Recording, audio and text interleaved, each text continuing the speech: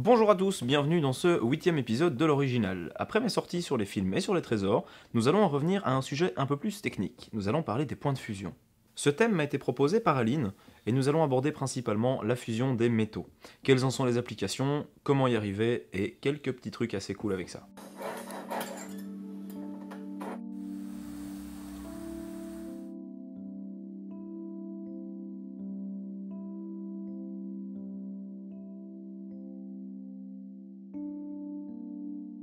La définition de la fusion est en fait très simple. Il s'agit du passage d'un corps ou d'une matière de l'état solide à l'état liquide, mais sous influence de la chaleur.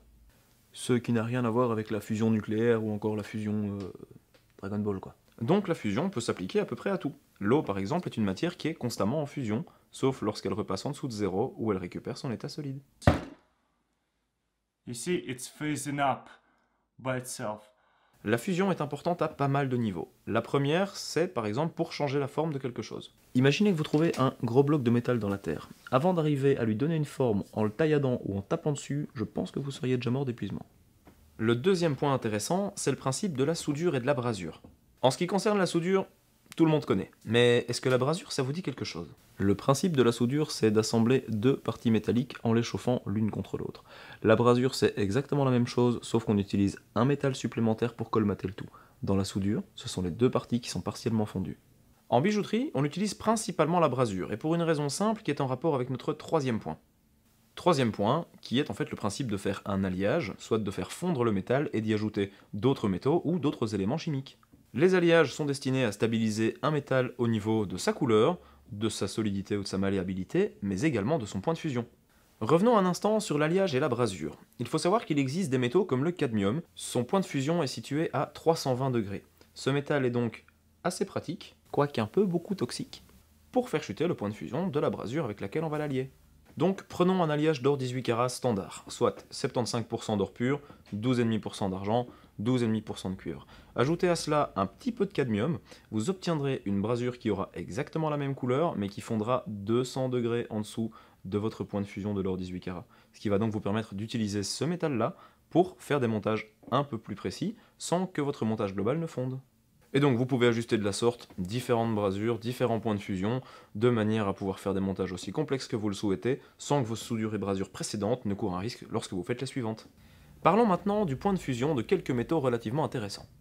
Le métal avec le point de fusion le plus élevé est le tungstène, qui fond à 3422 degrés. C'est la raison pour laquelle il est utilisé comme petit filament dans les ampoules.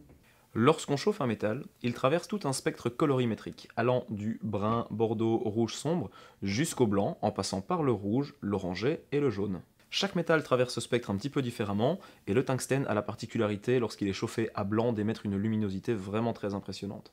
Arrangez-vous pour garder ce petit filament sous son point de fusion, il chauffe, il se met à briller, et la lumière fuit.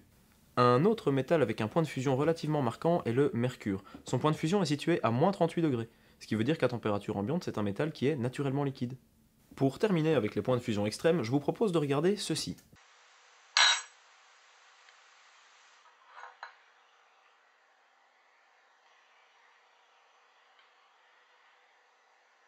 Il s'agit du gallium. Le gallium est un métal avec un point de fusion situé à 29,76 degrés. Certains sites internet vous proposent d'acheter un petit kit pour fabriquer vous-même vos cuillères en gallium et faire une petite blague à vos potes. Essayez juste de peut-être pas leur servir de café, parce que si vos potes ne voient pas que la cuillère a fondu dans le fond de leur tasse et qu'ils affonnent le tout, ils risquent non seulement une intoxication, mais aussi de se brûler l'œsophage, parce que ce métal est corrosif. Et avec des potes comme vous, pour le coup, on n'aura plus besoin d'ennemis. Je voudrais terminer en revenant sur un élément dont j'ai parlé dans la vidéo précédente. Il s'agit de la température de recuit. Le recuit est une technique permettant au métal de récupérer toute sa malléabilité ainsi que sa capacité à être travaillé. On chauffe le métal à basse température, c'est relatif puisqu'on est quand même à 500-600 degrés, et on crée une espèce de mini-fusion interne.